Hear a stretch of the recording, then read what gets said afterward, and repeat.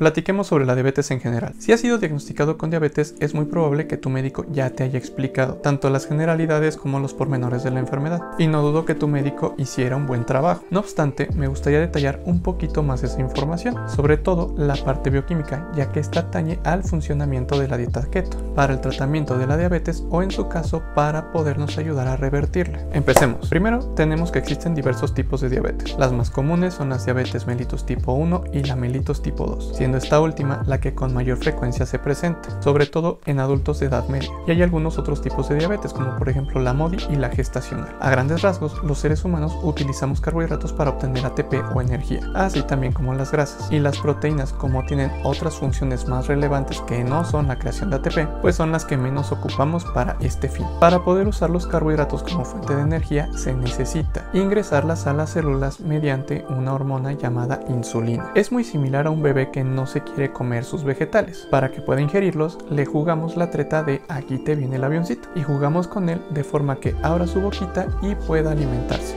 De igual forma con las células. La insulina es el avioncito y de esta forma la célula puede ingresar la molécula de glucosa. Una vez dentro de la célula se inicia la glucólisis. Esto quiere decir que vamos a romper la molécula de glucosa. De ella obtenemos acetilcoenzima A, el cual entra al ciclo de Krebs y finalmente se convierte en ATP. Hasta aquí este es el funcionamiento normal del azúcar. Y lo que está sucediendo en casi todos los tipos de diabetes es que el azúcar de la sangre no está entrando a la célula. Sí, el truco del avioncito no nos está funcionando. Y aquí tenemos de dos sopas. La primera es que el exceso de azúcar en sangre se vaya al hígado y se empiece a transformar en glucógeno, el cual es la forma de almacenaje que tiene la glucosa. No obstante, el hígado tiene una capacidad baja para poder almacenar todo este glucógeno. Ya que el azúcar sigue sin entrar a las células, esta empieza a convertirse en grasas, especialmente ácidos grasos de cadenas corta y media, que viajan en kilomicrones VLDL, también conocido como colesterol malo. Estas grasas idóneamente van a los adipocitos donde se van a acumular y ahí se almacenan. Los adipocitos es la grasita, básicamente lo que nos hace gorditos. Y este tejido se ubica principalmente en abdomen, glúteos, pechos, cachetes, un poco de papada y ya. Cuando esta grasa por azares del destino no encuentra el tejido adiposo para poderse almacenar,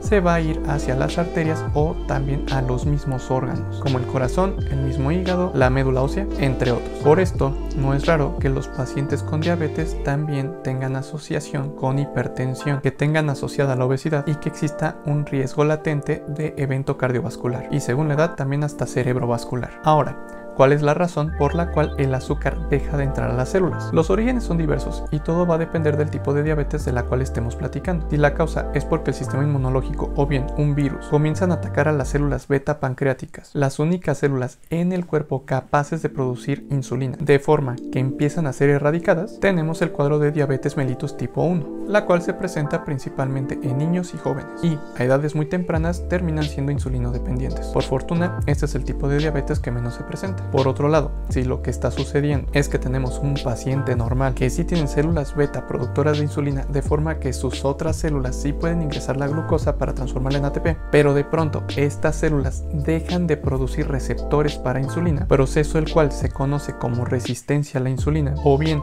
la insulina producida por las células beta pancreáticas empieza a disminuir o deja de tener efecto, es cuando se crea el cuadro de diabetes mellitus tipo 2. Lamentablemente, esta es la que con mayor frecuencia se presenta en la población general. Es un problema de salud pública y dependiendo del país es la segunda o la tercera causa de muerte en adultos de Latinoamérica y también del mundo, presentándose principalmente en varones. En este punto surge la siguiente duda. ¿Qué causa la resistencia a la insulina? Pues, aunque es multifactorial, no es tan difícil de responder. Así en corto, lo está produciendo un exceso de carbohidratos en los alimentos del paciente. Siguiendo la analogía del avioncito, la célula necesita del truco del avioncito, es decir, de la insulina, porque la glucosa es una molécula grande, es decir, si dejara pasar todas las moléculas de glucosa que se encuentra eventualmente se llenaría tanto que literalmente explotaría la célula. En consecuencia, cuando existe un nivel de azúcar muy alto en la sangre, una forma que tiene la célula para protegerse a sí misma y no explotar es dejar de fabricar receptores de insulina. Por lo tanto, la cantidad de moléculas de glucosa que permite ingresar la célula se ve reducida, pero también así logra no explotar. Por otro lado, hay un límite en lo que puede procesar de azúcar una célula, ya que todas las reacciones metabólicas del cuerpo, además de ofrecer ATP, también tienen productos de desecho, sobre todo dióxido de carbono, que aunque sí es cierto, es liberado a través de la respiración, si todo el tiempo se está metabolizando existiría un exceso de CO2 y por lo tanto una acidosis metabólica. Y esto lleva a dos escenarios principalmente. El primero es que el riñón va a entrar al quite para ayudarle al pulmón, de forma que aumenta la uresis, es decir, comienzas a ir más veces al baño y de esta forma el dióxido de carbono comienza a salir a través de la orina. Al mismo tiempo, las moléculas de glucosa que se encuentran en exceso en la sangre son filtradas por el riñón y también excretadas a través de la orina. Pero también, como estás yendo más veces al baño, pues estás perdiendo más líquidos. Por lo tanto, hay que reponerlos y en consecuencia los pacientes con diabetes comienzan a experimentar mucha sed. Y el segundo escenario, la acidosis junto con el azúcar convertida en VLDL va a provocar inflamación. Esto lleva a la producción de especies reactivas de oxígeno, destrucción de los tejidos, metabolismo anaerobio, es decir, lactato, más acidosis y formación de placas de ateroma. Antes de seguir, hay una pequeña curiosidad respecto a las células beta. Resulta que para fabricar insulina, la célula beta utiliza el esqueleto carbonado de la molécula de glucosa. Para llevar a cabo esta función, la célula beta carece de receptores de insulina, es decir, que la célula beta sí deja pasar todo el azúcar que se va encontrando. Por lo tanto, cuando existe un nivel alto de glucosa, también existirá un nivel alto de insulina, porque la célula beta responderá tanto al incremento como al decremento en el azúcar. Es una manera de poder regular la insulina que libera a la sangre. Ahora, no te olvides que todas las células, incluyendo las células beta pancreáticas, tienen un límite para la cantidad de azúcar que pueden ingresar y que cuando rebasan dicho límite explotan. Esto es lo que sucede con los pacientes de diabetes mellitus tipo 2 que la perpetúan por años.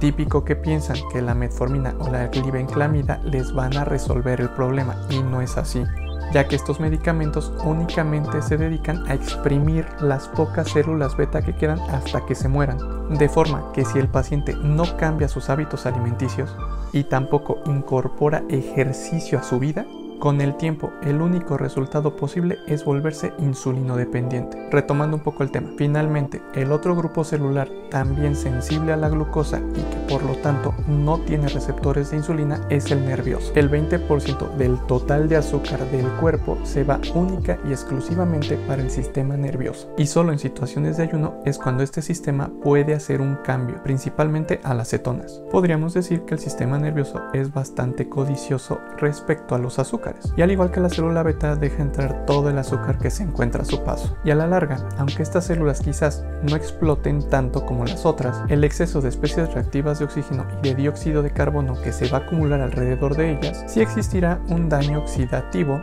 una inflamación y por lo tanto un deterioro de estas células, lo que lleva a la neuropatía diabética, de forma que un golpe leve, una uña enterrada o una leve cortada y que todo lo anterior se pueda ubicar en el pie pueden pasar desapercibidas, ya que las neuropatías insensibilizan al paciente. Por lo tanto, estos traumatismos no son atendidos y en consecuencia tenemos una úlcera que eventualmente se convierte en pie diabético. Y esos casos pueden terminar con la amputación del miembro. Como puedes ver, la diabetes no significa simplemente un alza en los niveles de azúcar o el no poder comer alimentos altos en carbohidratos. Por otro lado, tomar medicamentos y esperar a que se resuelva el caso no es la opción, ya que esta patología afecta tanto los mecanismos metabólicos como otros mecanismos fisiológicos de otros órganos. De verdad, la única forma de poder hacer algo contra esta enfermedad es mediante la dieta y el ejercicio continuado. De verdad, es así de simple. No hay más, no hay medicamentos mágicos, no hay otra cosa. Simplemente buena alimentación